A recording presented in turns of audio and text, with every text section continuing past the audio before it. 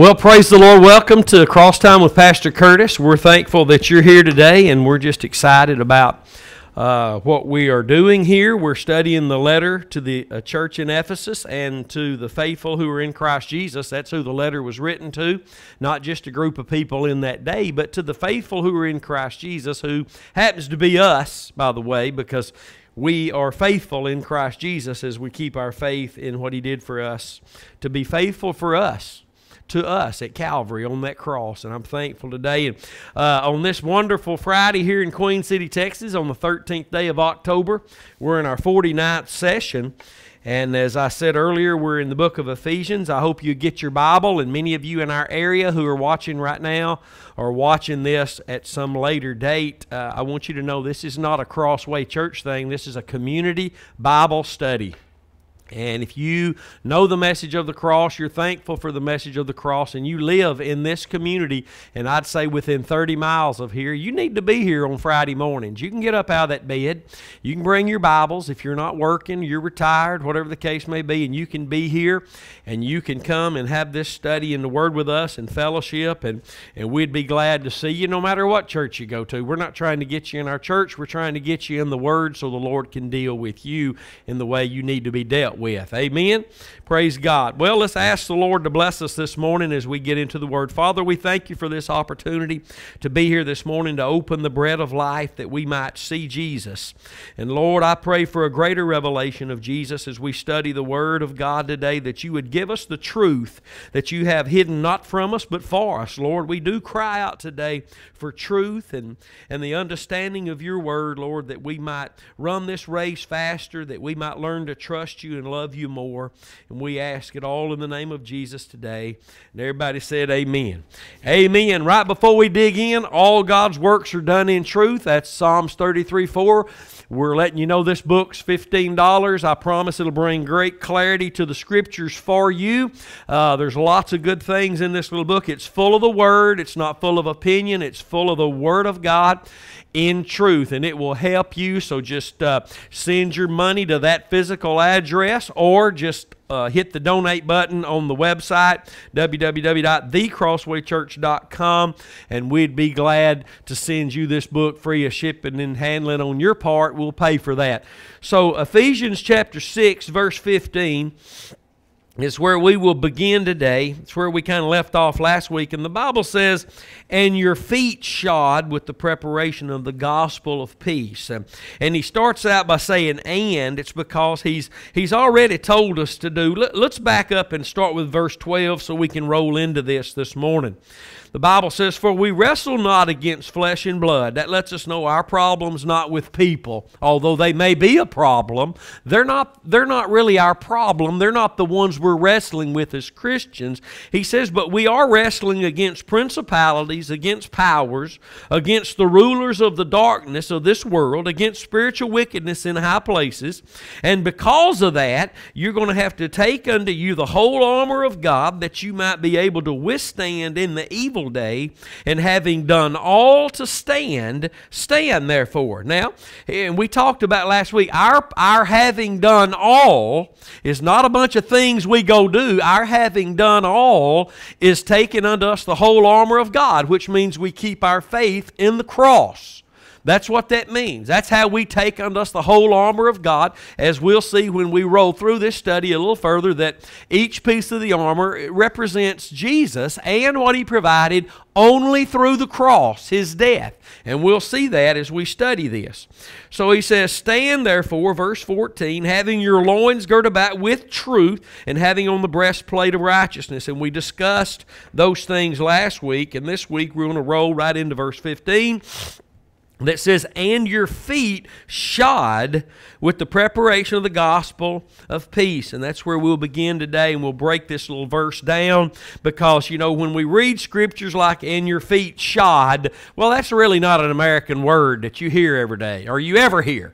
And so we have to look these words up and see that the New Testament, knowing it was translated, excuse me, from the Greek, we look at this these words in a concordance and we see what words are pulled uh, these derived the meaning from. So I want to break this down to you. And anybody that wants to go look it up, you're going to find the exact same thing. You're not going to find something different. And if, if that were the case, then the Bible couldn't have the clarity it does. It couldn't have bring the assurance it does. If you could go look it up and it mean one thing, and I look it up and it means something different, and they both meant something opposite, then that wouldn't be the Word of God. The Word of God uh, can be dug into and studied, and the words that you find that, that these words in the Bible also mean are always going to mean the same thing with just in depth more in depth. Some of these Bibles that are out there, these versions that change what the Bible has said all the years and years we've had the Word of God, they're not accurate. Throw them in the trash, get rid of them, don't even give them to nobody else. When you look these words up in the Word of God, in these concordances, uh, you're going to find just a more in depth that's why you have Matthew, Mark, Luke, and John. And people ask me all the time, why do we have to have four Gospels? Aren't they the same thing? And some of them even sound like they're saying something different, preacher. Well, the reason, man, if you were on one side of a car accident and I was on the other side of the road, it'd be the same accident. You just saw it from that side. I saw it from this side. Same accident. That's what the Gospels are. That's what uh, Matthew, Mark, Luke, and John, Jesus had his disciples walking with them. They saw everything he did, but they saw it from different views viewpoints. It's the same story, same Jesus. There are no contradictions in the Word of God. That's just a simple part of, of ignorance on our part of not studying like we should. I promise you, if you study the Word of God like God told you to do, so that you could be a ready workman, uh, you know, prepared for all the works God's called you to do, you'll find there are no contradictions in the Word of God. That it is right on and it never has contradiction, it's always right. So these words like shod, when you look it up, it means to bind under one's feet to have our feet shod means we've got something bound to our feet. I mean, this is what we're walking in. This is what we're walking in. We're, our feet are shod. And, and what he tells us that what's bound under our feet, he says, is the preparation of the gospel of peace. And the word preparation really just means a, a readiness. Uh, you know, if you're getting ready to paint a room, what's the first thing you got to do? Prepare it. That's always, almost always, the toughest, most time consuming part is preparing for a job. The setup, the scaffolds, the mud boards, or the taping and the sanding and all the stuff that happens before. And so we got to be ready. That means we've got to be shot, have shod to our feet. That means bound to our feet, determined to be ready to share the gospel of peace. And so that's what these words mean to bind under one's feet. That means that's where we get the word uh, shod, to bind under our feet. Preparation means to be ready in the faith, our walk is bound with a readiness to share the gospel. Christians who aren't ready to tell them that Jesus, to tell folks that Jesus saved me and that's why I am like I am today, that I'm no longer the Curtis that I used to be. I'm, I'm now in Christ. I've been born again. I've been saved. I'm not looking to the things I used to look at. I'm not after the things I used to be after. I've been changed. I've been born again. I, I, as truthfully speaking, I was literally crucified, meaning I died with Christ. He died for me, but I died with him.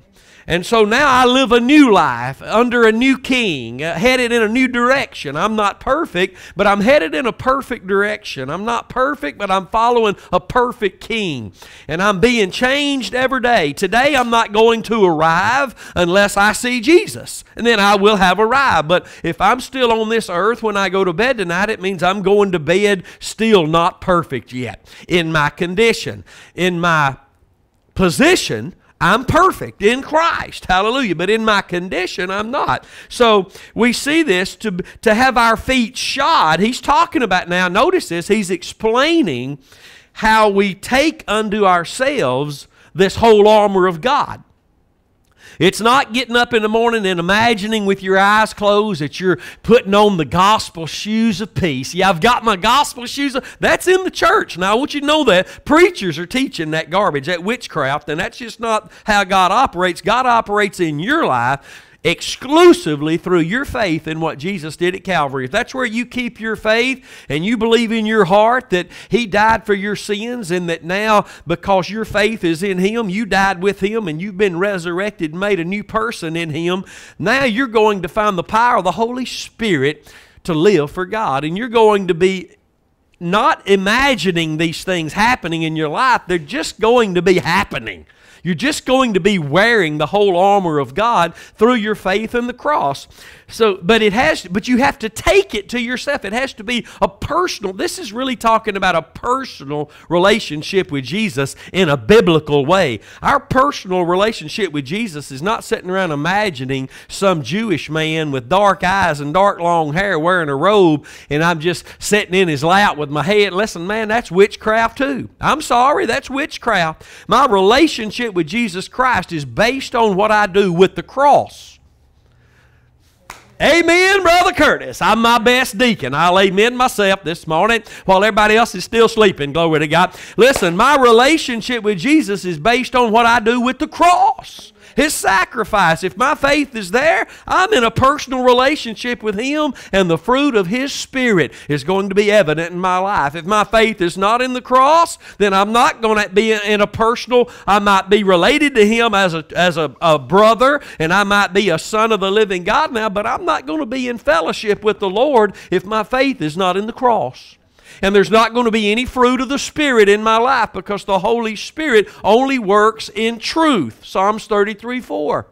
And if my faith is in the truth, the Holy Spirit has access and the liberty to work in my life and bring forth the fruit of the Spirit, not the fruit of Curtis, the fruit of the Spirit. So I'm talking about a real relationship with Christ. If I'm in it, if, if I'm in fellowship with Him and walking like I should be walking with my feet shod with the preparation of the gospel, a readiness in my heart to share this truth that saved me and made me free that's, that's the result, that's the manifestation of my relationship with Christ. Christians who can't tell of their testimony and, and go around ministering and go around uh, thankful for their salvation, they're not in fellowship with the Lord just because they go to church a couple times a week, my friend.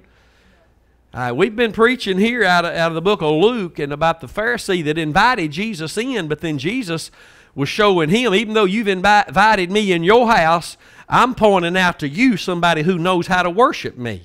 And we're in that story, and we need to wake up as a church and realize Jesus is either pointing to somebody for us to get a hold of how they're worshiping Him, or, he, or, or we're the ones He's pointing to. I want to be the one He says, Look at Him. He knows how to worship. You hadn't worshiped me. He's, you know, that's what that story's about. We're in fellowship with the Lord because we know who He is. We know what He came to do for us. And that's not a, a, a thought that was in the past that saved me when I was 11 years old. That's a right right now thought, thank you, Jesus, that you came to die for me. I'll thank you every day. The cross won't get old. I'm not going to let it become some old message from the past, and I'm also not going to be just let it become a message that I preach. It's a message that I take to heart today. Right now, I take it to heart. If I don't, then I can preach it, but I can't live it, and I don't want to be found in that boat. Hallelujah.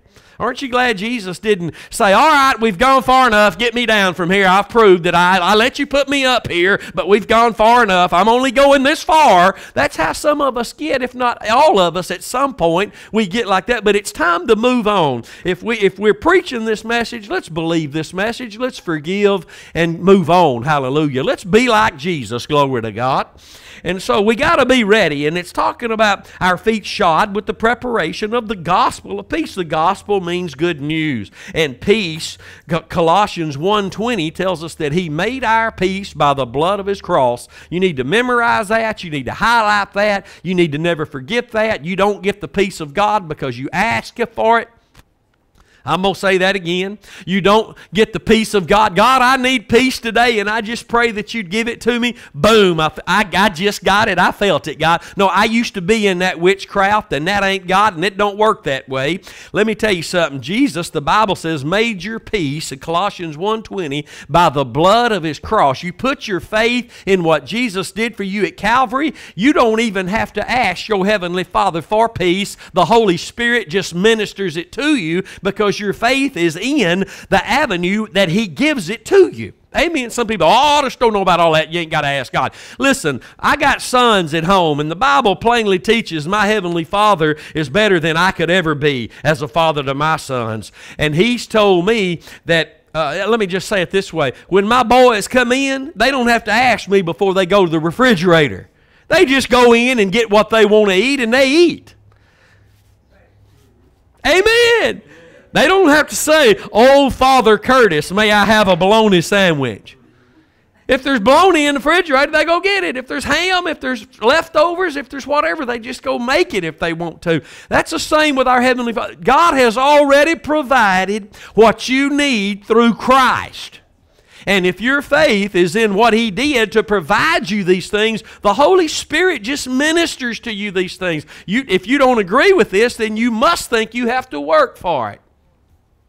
Mm. You must think you have to work for it. Jesus has already worked for everything I'll ever need. Amen. So he made my peace by the blood of his cross. And so if we're standing, the Bible tells us, having done all to stand, stand therefore. And if we're standing, we'll be able to withstand. And while withstanding, the fruit of peace will be manifest by the power of the Holy Spirit the fruit of peace. In the world of chaos, we'll have peace. And when the, when the church goes mad, we'll have peace. When we're going through a hard time and everybody just is going crazy, uh, even on our behalf, we'll be having the peace of God. We have peace not only with God, but the peace of God in our hearts.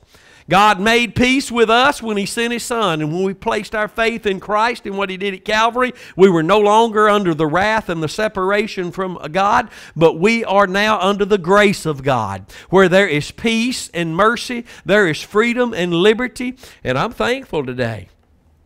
So our feet shod with the preparation of the gospel of peace. That means if we're taking unto ourselves the whole armor of God, we've got the loin belt of truth on, we've got our breastplate of righteousness on, and we are ready to tell about this armor we're wearing. We're ready to tell about the, the, the protection we have in Christ, this hedge that we're in, uh, covered by the blood of Jesus. We're ready to tell somebody that not only what Jesus has done for me, but He's willing to do it for you. Praise God. And, and verse 16 says, above all. Everybody say, above all. Above all, taking the shield of faith. Why, why does the Bible say above all? taking the shield of faith because everything that comes to the child of God is going to have to come by faith. And if you want to turn over and look at Romans 10 17, just so your eyes can hit it, and we won't just be quoting it since it is a Bible study. Romans 10 17 tells us that faith comes by hearing, and hearing by the Word of God. Faith comes by hearing, and hearing by the Word of God. That means faith is not true faith unless it's faith that comes from hearing the Word of God. And the Word of God is always going to be in the context of Christ and Him crucified. I don't care where you're at, from Genesis to Revelation, God is trying to reveal His Son to us. And the proof of that is in many places in the Bible. In Hebrews 1 and 1, where it says, In times past, diverse and various ways God spoke to our fathers through the prophets, but in these last days, He speaks to us by His Son. So, what we've got to hear God saying is by His Son, and that's talking about through what He did at Calvary. If you want me to prove that in Scripture, I will. Hebrews 12 and 24. We'll turn over there and look at that since we're not in a hurry to get out of Ephesians. Uh, we've been in it over a year, and we, we'll be out in a few weeks, so hang with us. If you're in a hurry to get out, that means you're not getting what you're supposed to be getting. Uh, you're focused on getting out of Ephesians instead of getting what God wants you to get while you're still in it. Amen. Ephesians 12 24 says, And to Jesus, the mediator of the new covenant, and to the blood of sprinkling, that means purification, that speaks. Did you hear that? It's the blood of Christ that's speaking, my friend. That's why when the Word of God is preached, it's got to be in the context of the blood. Even under the Old Covenant, when Moses would read the law, they sprinkled it with blood. for the Word of God to have any effect in your life, it's got to have been heard through faith in the blood. It's the blood. That's how God speaks to us in the last days by His Son, by what His Son did at Calvary. Well, you see it right there. That speaks better things than that of Abel. Listen, God told Cain, Your brother's blood cries out to me. But He's telling us here, the, the blood of Christ is speaking better things than that of Abel. It's the blood of Jesus. Does the Bible not say in Ephesians 2.13 that it's the blood that has drawn us near to God? Yes, it does. And let me tell you something. We were drawn near to God not by just Jesus bleeding on the cross, but by the message that comes from that. That is God's declaration of righteousness. Can we look again? Uh, the, well, the Lord's given it to me this morning, and I believe it's Romans chapter 3. It don't hurt to roll through the Bible. Amen. Romans, I love the Word of God. I love the truth. Uh, Watch this in Romans chapter 3, verse 25. The Bible says, Whom God has set forth to be a propitiation through faith in his blood to declare his righteousness. The cross is the message from heaven. The cross is how God speaks to all of humanity. We're showing it in the scriptures today. If, if a minister stands in a pulpit and he's not sharing the Word of God in truth, which means through the cross, in the context of Christ and what he did at Calvary, it ain't going to work. Listen, all these messages about how to be an elder and how to be a deacon, listen, it may be good and biblical, but if it's not related to Christ and the cross, even that, how to be an elder, how to be a deacon, it ain't helping nobody because God ain't speaking through. Oh, yes, He is. I've got His Word. But if it's not in the context of the living Word, the truth, Jesus Christ, and what it is that made Him our applicable truth, it won't help anybody become an elder or a deacon, they'll just be in that role in a legalistic manner. Somebody said amen. So we see it right here in. Uh, that that we've shown that so and what we're talking about is above all taking the shield of faith this shield that, that, that the bible here wherewith you may be able to quench all the fiery darts of the wicked don't you wish you'd known this when you were five years old? And you do you know how much hell we would have missed out on? Do you know how much sin would have been not even in our lives? Do you know how much ruin would never have come to us? How much torment in our bodies would have never had to go through had we known this and believed this and been raised up in this? But here's the good news: you can forget all the what ifs. Thank God you're hearing it today. Thank God you're in it today. And what we threw away for years, the devil won't won't gain one more inch of ground in our lives because we're learning what it means to believe God and trust God and to wear the whole armor of God, just to trust in that finished work. It is the place God spoke from heaven. Hallelujah the places in the New Testament you hear God speaking vocally, thundering his voice from heaven that we find in the New Testament always was when Jesus was involved in something that was pointing to his death on the cross. John baptizing him in the Jordan, bringing him up out of the water, the voice from heaven spoke, This is my Son in whom I'm well pleased. Jesus on the Mount of Transfiguration with, uh, who was it, Peter and, uh, and John and, and, and James? Is that right? They were up. He was up on the mountain with him, and and uh, uh, who was it? Uh, Elijah and Moses showed up, and the Bible says to talk. I'm asking these Bible scholars. Uh, to, the Bible says to talk about his decease, and Peter's excited about it. He's like, "Oh, this is awesome. This is it. This is where I'm saying. You ever had something so wonderful you thought you'd just camp out there? That's what Peter was saying. Just camping out right here. I've never seen it. Jesus is glorified right here on the mountain. We, hey, should we build booths right here and just live here, stay here? This is where it's all started. And the Bible says, while he thus spoke, the voice from heaven said, This is my son. Hear him. Shh. Hear him. But every time you see that voice thundering from heaven, it's when the focus was on Jesus and what he would do at the cross. And so we've pointed out in, in Romans chapter 3, Hebrews chapter 1, and Hebrews 12 and 24 about the way God speaks. He don't just speak out through a tree or a cloud. God speaks through the cross.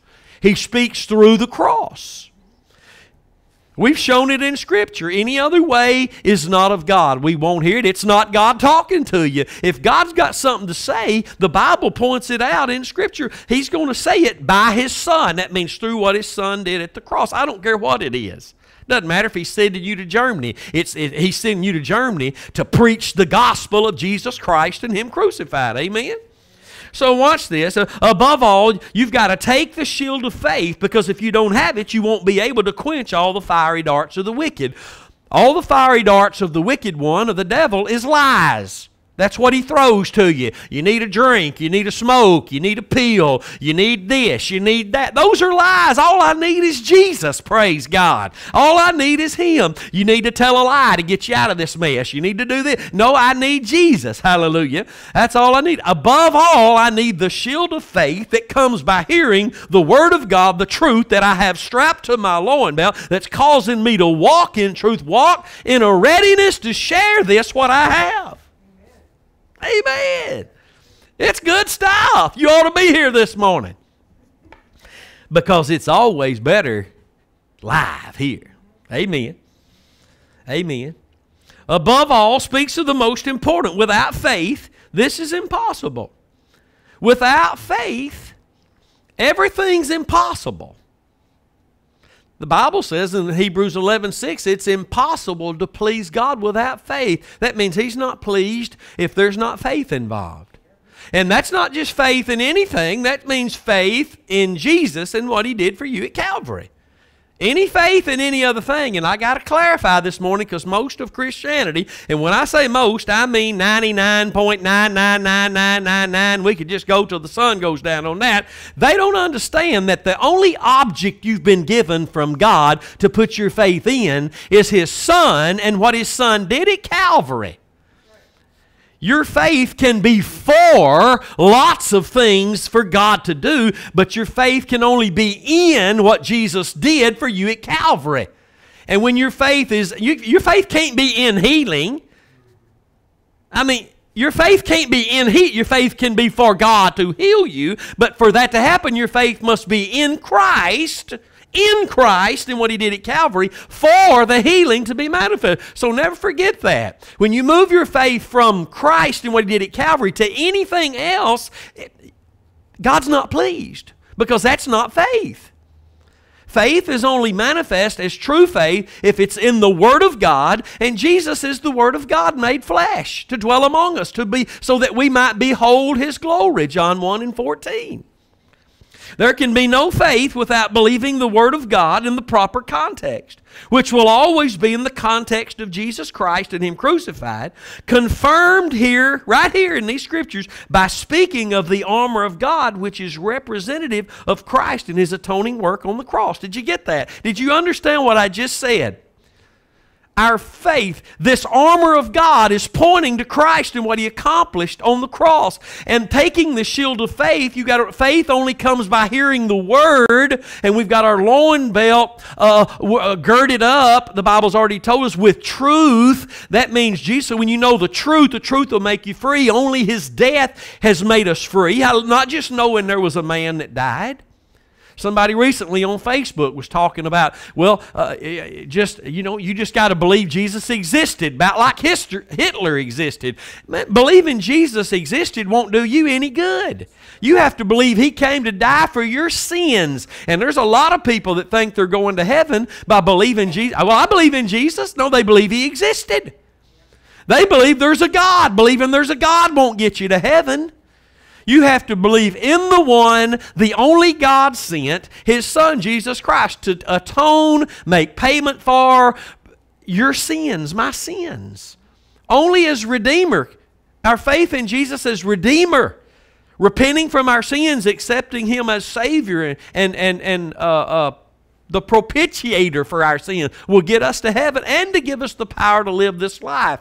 Amen. So when we see taking the shield of faith, that means we're standing in the truth that our loins are girt about. We're walking with these, uh, with our feet shod, uh, bound with the readiness to share this message. These are people who are wearing the whole armor of God. People who aren't are still in social cliques in these gatherings. They're in these denominational rules and regulations and hierarchies. And listen, let, let me tell you something this morning. People who are wearing the whole armor of God are talking about Jesus. They're not talking about their ministerial junk. It's okay to mention it, but they're talking about the gospel. They're wearing the gospel shoes of people. They're ready at any moment to drop that sword uh, into every conversation. Man, we're ready to talk about the Lord. We're ready to talk about the gospel because that's what we're walking in. That's what our shield of faith is, is there for, not to just quench fiery darts, but to show that we are the ones in the earth today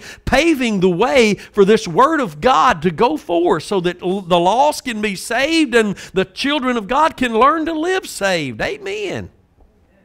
So when we talk about anything to do with faith, we're talking about the only thing that pleases God is faith. And He's given faith to us as a shield. When He gave us uh, Jesus, He gave us the whole armor because it's only faith in Christ and what He did at Calvary that crushed the devil's head.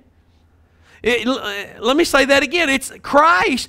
If you're trying to defeat the devil, listen, that's trying. That's like trying to drink a glass uh, that ain't got any water in it anymore.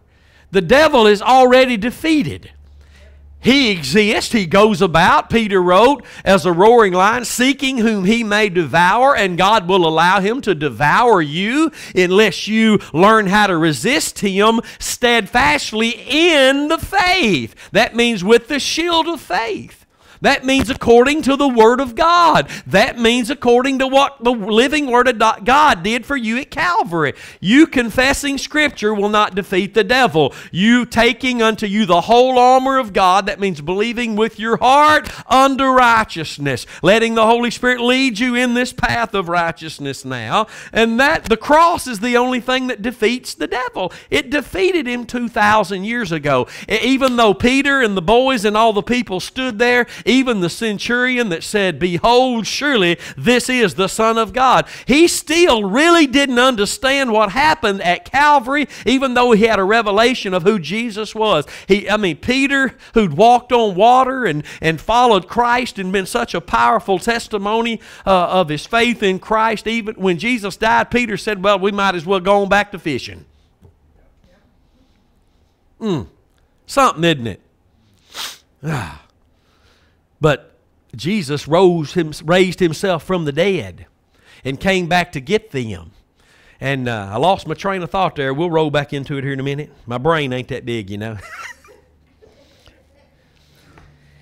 there can be no faith without faith in the cross. There can be not, no faith without faith in the cross. You say, Well, I've got faith in God's Word, and that means your faith, to be accurate, is faith in God's Word and what he did for you at Calvary. That's the only way the written word is going to work for you. If the written word will work for anybody outside faith in the cross, then that means anybody can just open the Bible, even the lost, and start quoting the word and it'll work. And that's not true because the word of God is God, John 1 and 1, and the word, word of God is God and God only works in truth. You got the Word, but are you seeing the Word in truth? Do you have your faith in the truth of God's Word that will make you free? Praise God. So we've got the shield of faith faith, and let me get back to this. I'm, it's trying to come back to me now.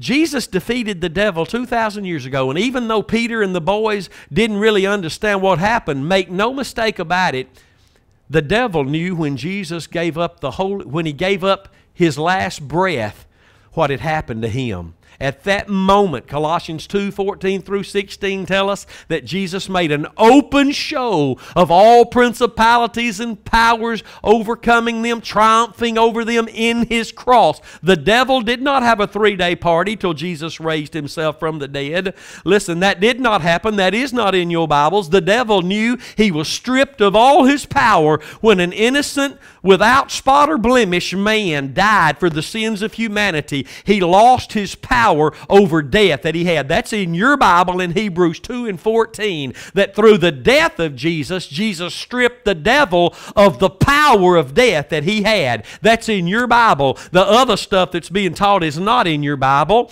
So when we place our faith in what Jesus did at Calvary, the devil is reminded of how defeated he is, and the Bible teaches that he will have to flee from you when you resist him steadfast in the faith. That's what the Bible teaches, and I'm hanging on to God's word. Oh, the devil's going to throw fiery darts. He might flee today, but tomorrow is going to come and he's coming back because the devil is not a quitter.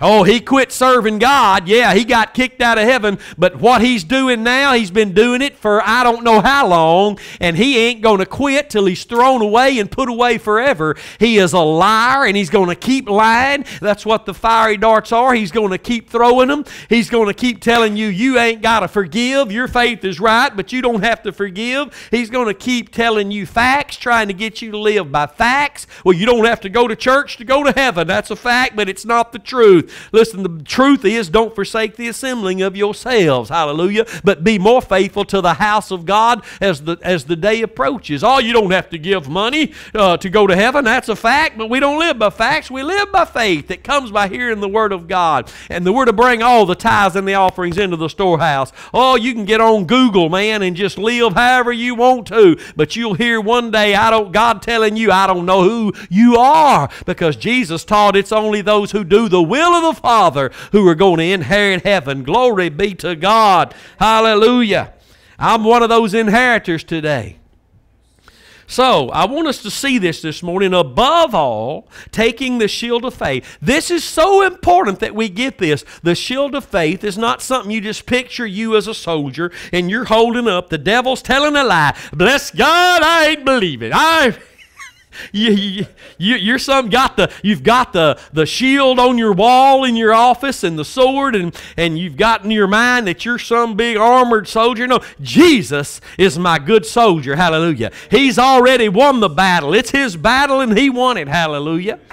And and the reason the reason the Bible tells us above all get this today. Above all, taking the shield of faith. This is above all it, because when we take the shield of faith, it proves that our faith from our heart is in the Word of God because there is no shield of faith without the loin belt of truth. There is a progression here. That's why he started out with the loin belt of truth. If your faith and your walk is in truth, then your feet will be sharing this gospel of good news, this gospel of peace. And listen, you, the, the, the breast, your heart will be covered with his righteousness, praise God, the breastplate of righteousness. Mm and and you'll be walking in this truth. And as you're walking in this truth you're going to have this above all you're going to have the, the, the, the, the shield of faith because listen your faith comes by hearing god's word. And god said here in the bible that he's exalted his word above his name.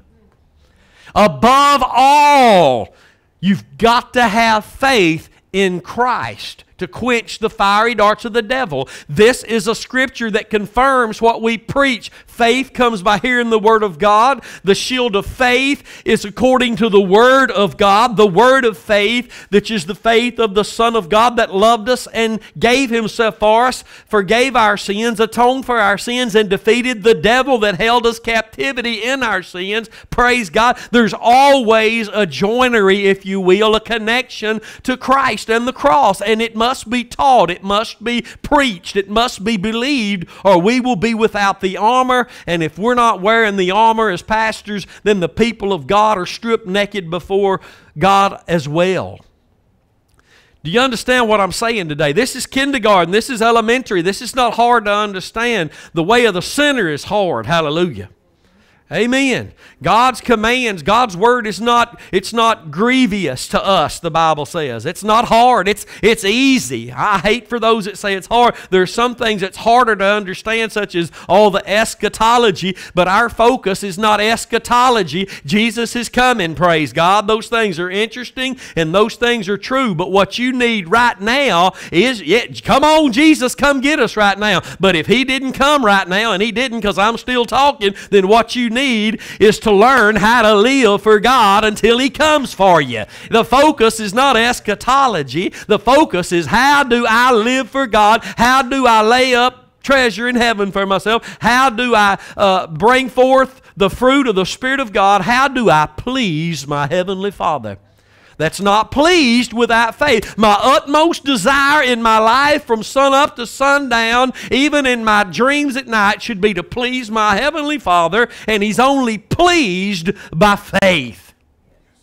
That's why he says, above all, you've got to take the shield of faith. It's not just because it protects you, it's because when you're holding the shield of faith and the enemy's being reminded of how defeated he is and that he can't do anything to you that God won't let him do, that God's being glorified while you've got that shield of faith. While he's being reminded of how defeated he is, God's being glorified because above all in your heart, you've taken the shield of faith that represents his son, Christ Jesus, and what he did for you Calvary. Glory to God. I'm going to get happy this morning talking about Jesus. He is my shield of faith. He is my loin belt of truth. He is my shoes of peace. He is what I wear every day. Not imaginative in my mind, but a reality through my faith in His death. Glory to God. Without faith, one cannot take unto themselves the whole armor of God. The whole armor of God speaks of the provision of Calvary. Therefore, one's faith must be in Calvary, and this is above all, as the faith is our shield.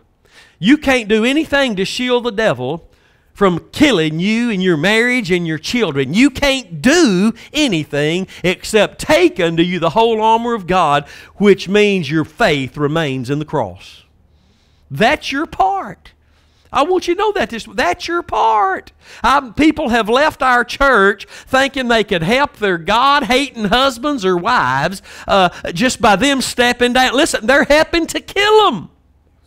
They're helping to, whenever in God's Word there's something there that tells us we should be walking in, loving, forgiving, planted in the house of the Lord, even more so to that perfect that All these things that we're told to do in the in the new covenant. And Jesus, by the way, taught if you don't do my Father's will, you won't go. You can call me Lord, Lord, all you want, but it's those who do the will of the Father who are going to make it to heaven.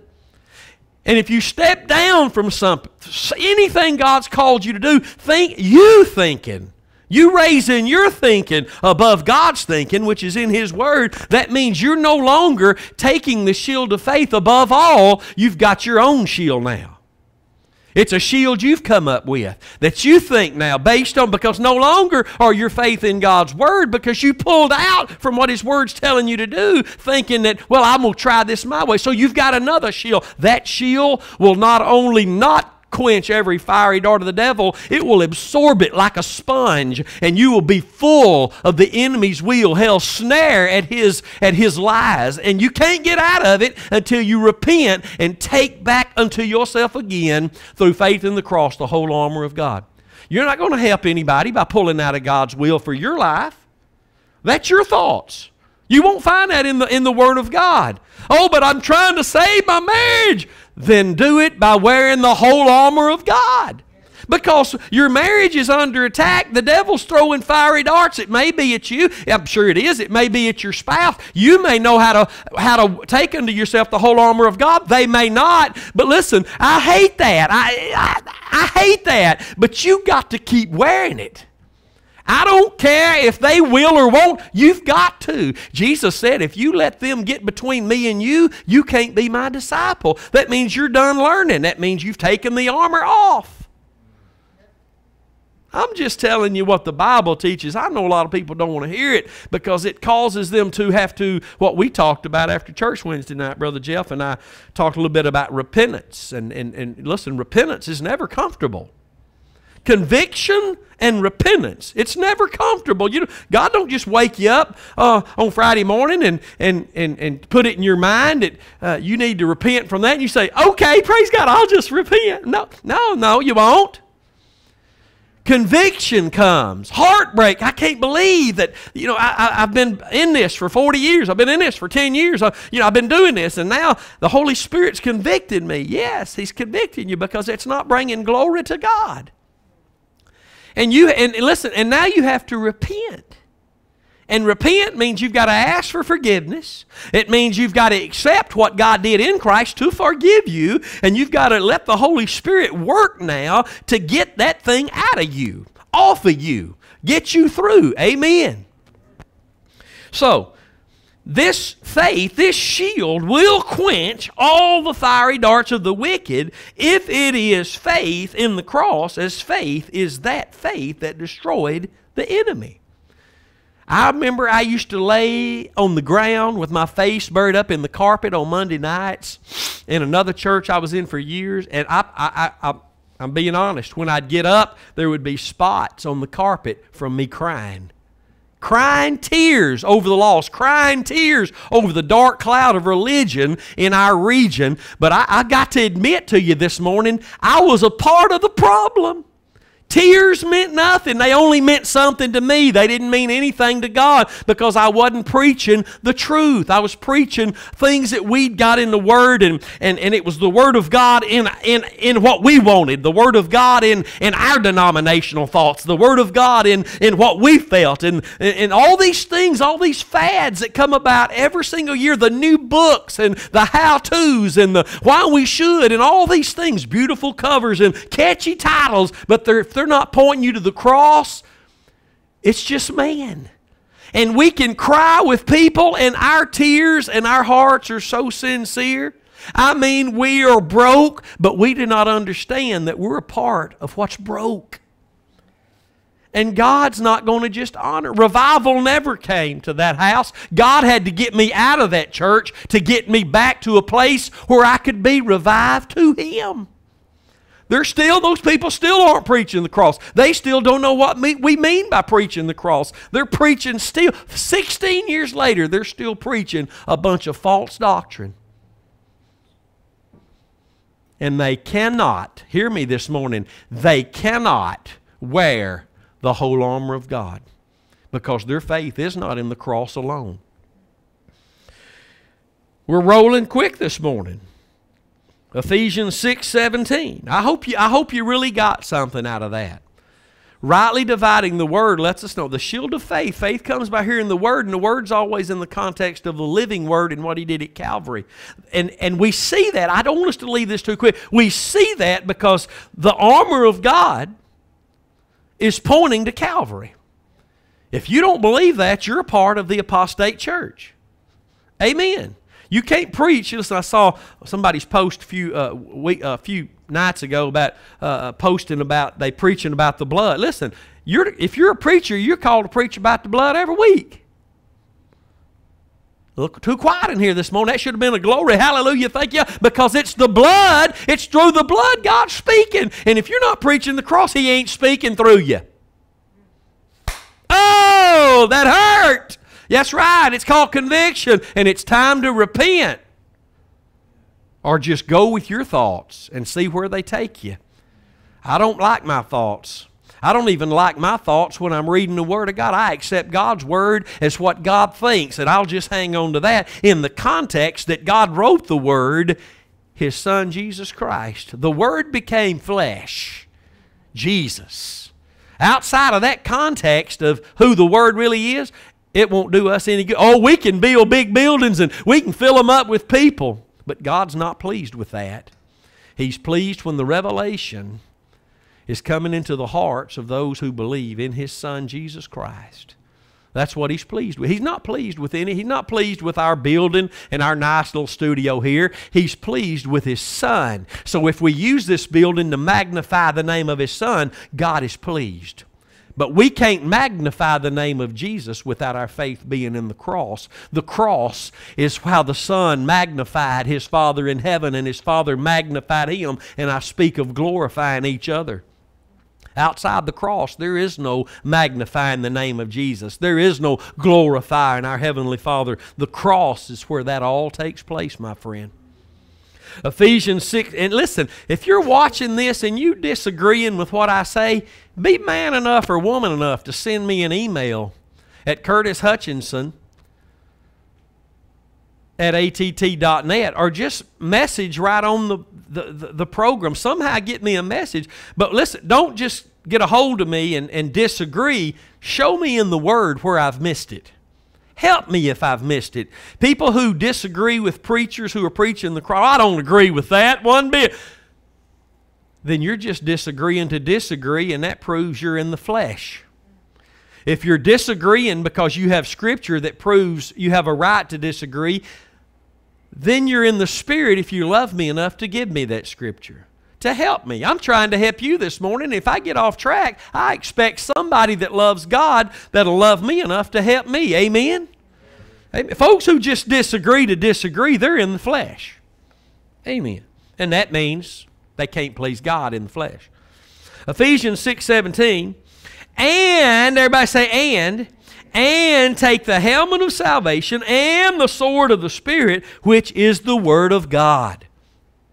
See, can't none of this happen. All we're talking about here is the Word of God. The shield of faith, that come, faith comes by hearing the Word of God. The loin belt of truth, that is the Word of God. Here we're talking about the helmet of salvation that comes by us hearing about Christ in the Word of God, and the sword of the Spirit, which is the Word of God. It's all about the Word of God, and it's all about the Word of God in its proper context Jesus Christ and Him crucified. Hallelujah. Take the helmet of salvation. The helmet of salvation covers the head of the soldier, and with the head we think. And this is probably all I'm going to be able to share today. I got about 10 minutes. So I'm going to talk about this scripture for the last 10 minutes. With this helmet of salvation covers the head. If you get man, you got to have a helmet in, in, in combat. You got to have a soldier has a helmet.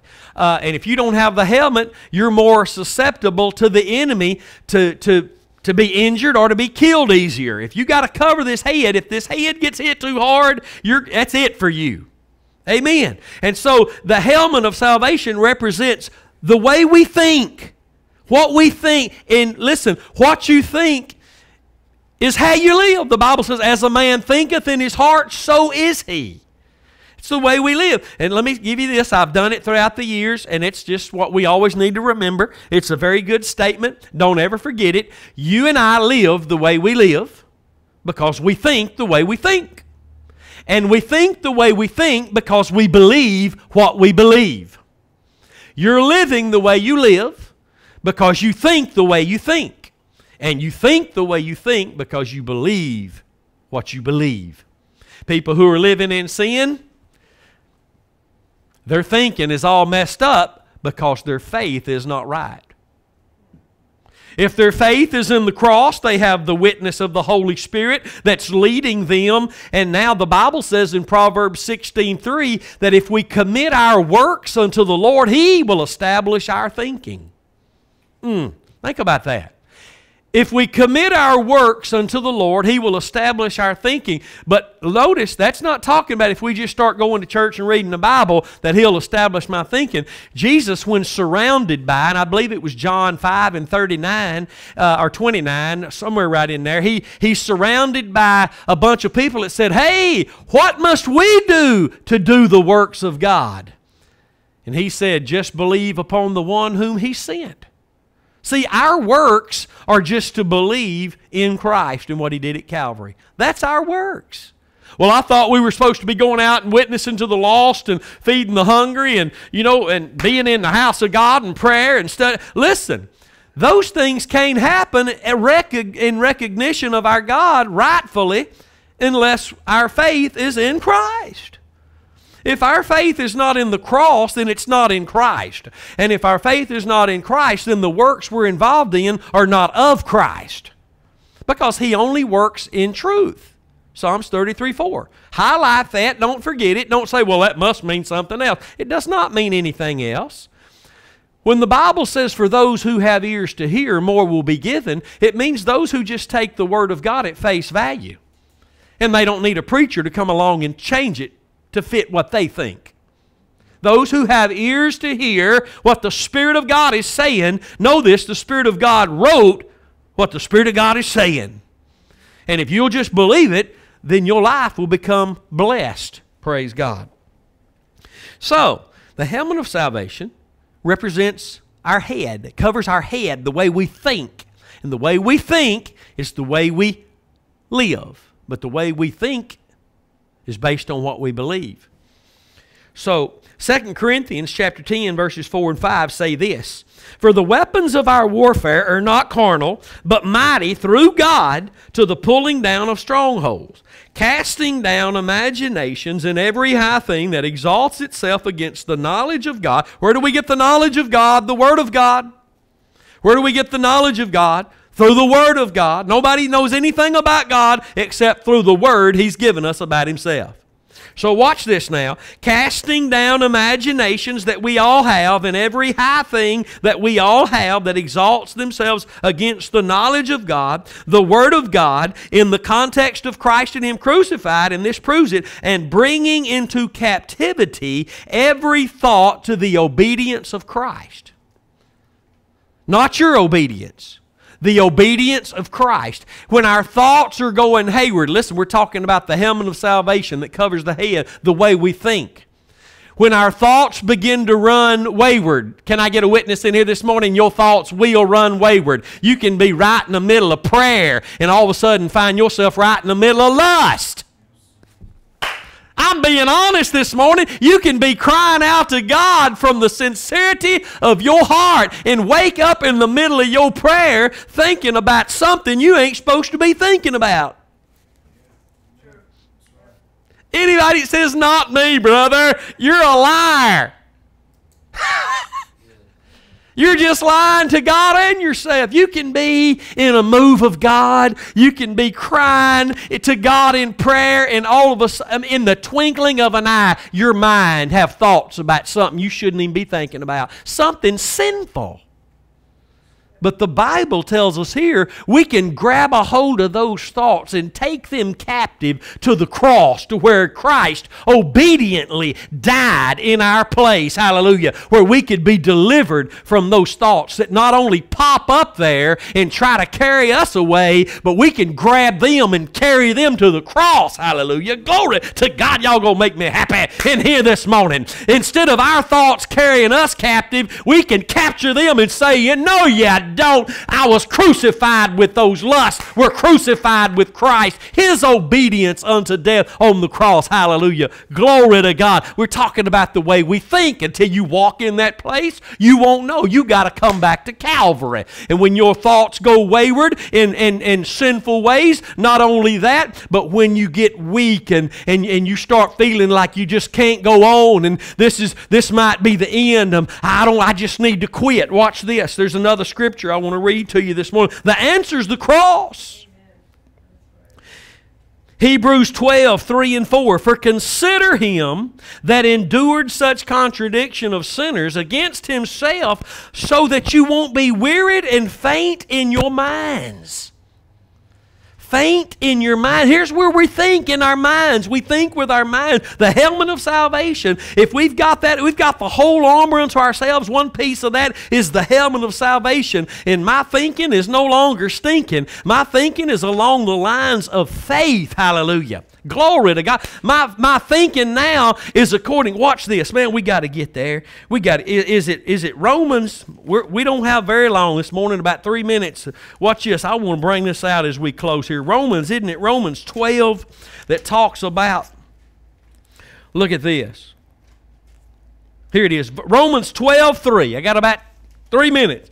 For I say, through the grace given unto me, to every man that is among you, not to think of himself more highly than he ought to think, but to think soberly, according as God has dealt to every man the measure of faith. That's not talking about everybody in the world, that's talking about every, every believer.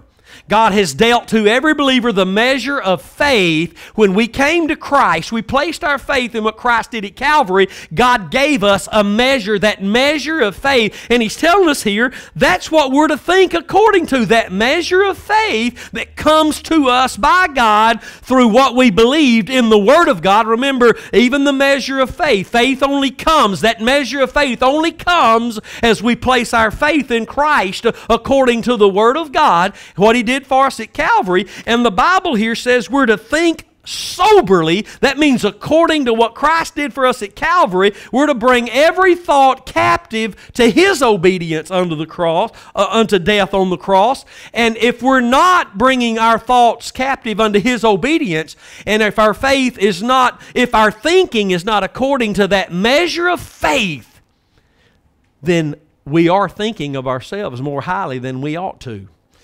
And we don't understand the whole armor of God. And if we don't understand it, we can't wear it. You have to under. Now, I ain't talking about to the, the, the, just fullness of the revelation, but you've got to understand Christ died for your sins, not so you could just get to heaven, but so you could be armed and dangerous to the enemy armed, protected, armed and, and benefiting from the cross, armed and dangerous to the enemy's kingdom. And if listen, if your if your thinking is not according to that measure of faith, that means according to the word of God, then you're thinking more highly of yourself than you ought. And that can happen. And that's where we find ourselves contributing, helping the enemy, giving others the occasion to sin and to blaspheme God. Because that's what we're doing when we're living defeated lives. Instead of wearing the whole armor of God and being a witness unto God and a testimony unto what Christ did for me at Calvary, I'm living in sin. I'm living in defeat, and others cannot be blessed through me.